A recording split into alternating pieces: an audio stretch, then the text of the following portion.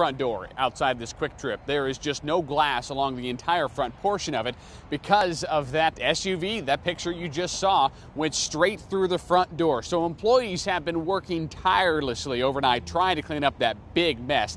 I did just talk to police a few moments ago. They tell me that it'll be up to the health department to determine when this QuikTrip can reopen. Health inspectors had to shut it down because of all the glass here last night.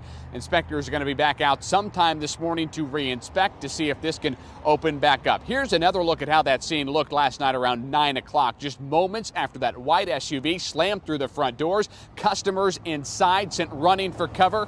We do know at least two people were injured, but we still aren't sure the extent of those injuries this morning.